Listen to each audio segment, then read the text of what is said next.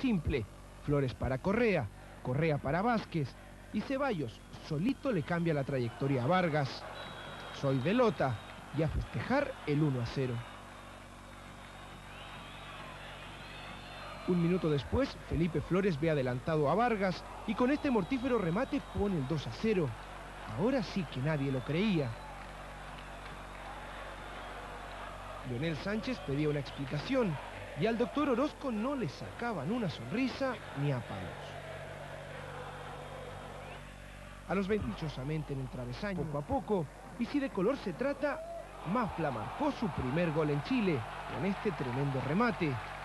Fue un golazo, le vio como venía. El golpe fue duro para la Serena.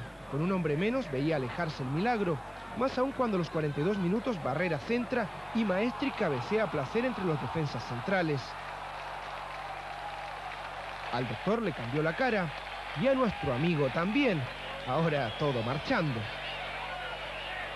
A Eduardo Soto le pareció